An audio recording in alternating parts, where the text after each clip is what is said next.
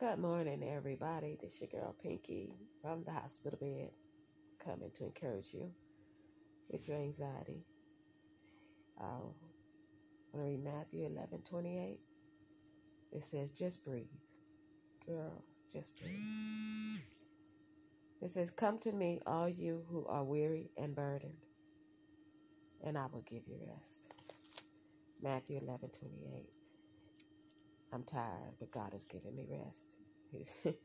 Laying up here, He's giving me sweet rest. So, this is your first time here? Go ahead on and, uh, my glasses are not on. Go ahead on and hit that like button and subscribe. I'm to try my best to uh, come back every day to give you a word of encouragement. I'm not doing no purse videos. I'll be in the hospital at least three days. Life just pulled the carpet out from under me. The bottom fell out. So just breathe. Be encouraged. Go ahead and hit that like button and subscribe. Ring the bell so you'll be notified. Um, thumbs up. Leave a comment and share. It's not that complicated. So until next time.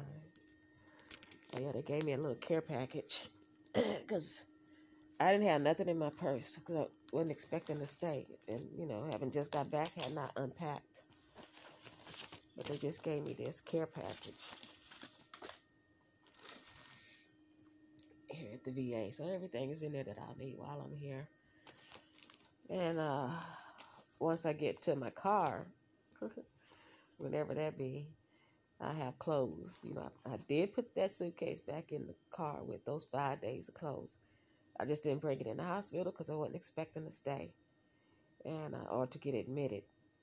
And they wouldn't let me go back out and get it because they said I had an IV. That's all I had. I could have walked back out to the car and got it, and they know I was gonna leave. But thank God I'm not because so far all these nurses that are coming in here are looking at my Bible, touching my Bible, saying, Oh, that's so pretty. Bless you. God bless you. I pray you get better fast. You know, just God take the foolish thing to confound the wise. So, girl, get up and just breathe.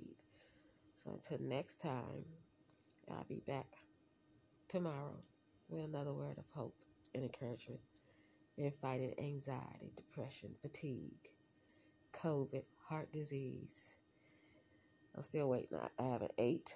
I'm waiting on them to come take me to run some tests on my heart. Uh, I think a cardiac catheter lab uh, to check to see if I actually did have a heart attack on the ship.